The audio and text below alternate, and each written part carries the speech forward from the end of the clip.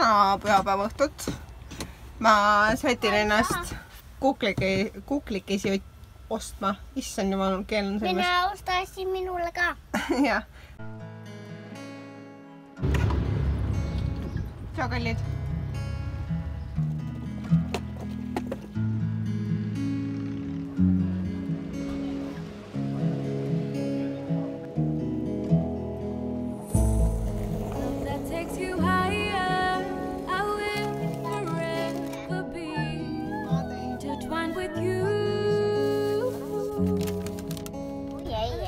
Kas tahad enne proovida, kas seda pruuni või porgandjama? kooki. on hea või? palun mulle ka.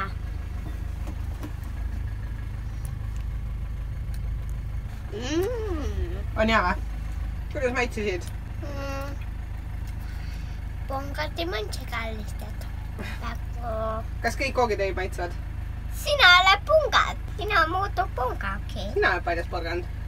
ei, jaa. sina oled palju pungad. Aleksander, sööd pudru ära ja siis äh, Risti Martin saatis meile ühe paki, siis me teeme selle paki lahti, vaatame, mis seal paki sees on.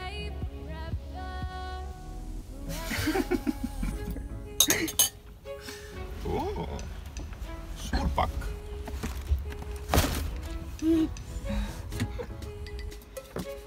nii, kuulad, Aleksander, jah?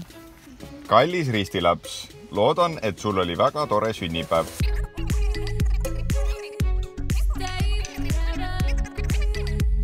seniks aga musid kallid kukerpallid. risti isa Martin. oi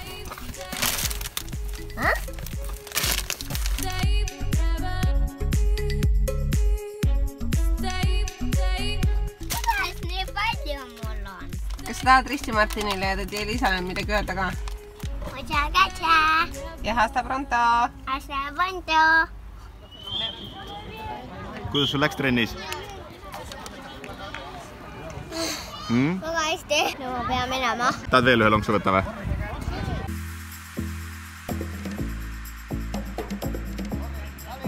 jookse, jookse väravasse, väravasse. löö väravasse. löö värav.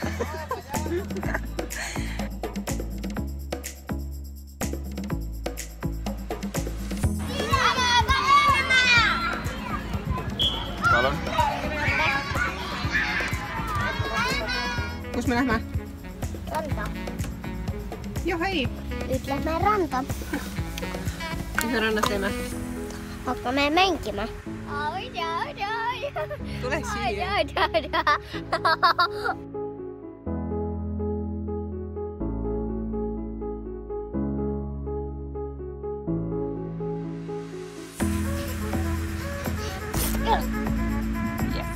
see polnud milline. kuidas on? Väga hea.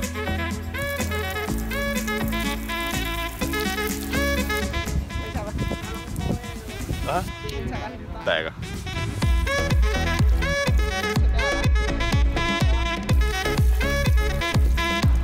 nii, anna rätiik, palun. miks on see niimoodi, et alati viimasel hetkel saad sa aru, et sa oled midagi maha unustanud?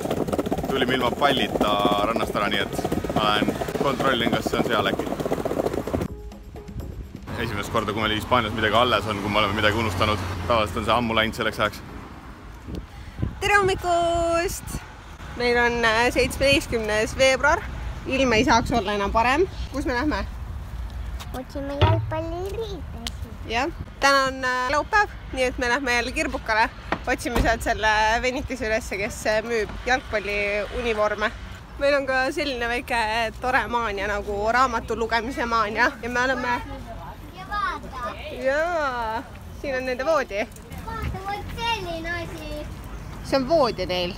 kuidas seal saab magada? no niimoodi magavadki nagu sina ka oma voodis magad. emme, vot niimoodi tagurpidi peab magama. just ja me oleme Kirbukalt endale euroga raamatuid ostnud ja nüüd me lähme uuesti seda tädi piinama, et ta meile midagi head soovitaks. aga siin on jõhker sagemine jälle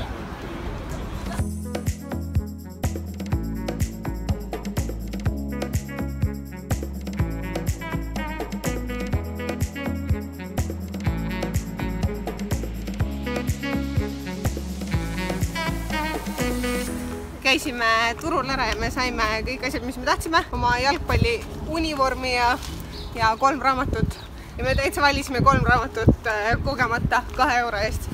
aga nüüd võtame oma vesipiibu ja nosimist ja lähme randa. mitte vesipiipu, vaid heki. aga nüüd me võtame oma heki ja nosimist ja lähme randa.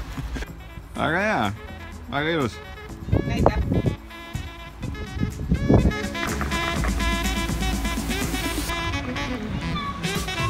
Tulime praegu esimene kord enda hekiga nagu legit tänava peale kõndima ja kohe olid kaks kuti hispaania keeles. kas see on vesipiip, mis sa teed, kus ma saan seda osta, kui palju see maksis? nii et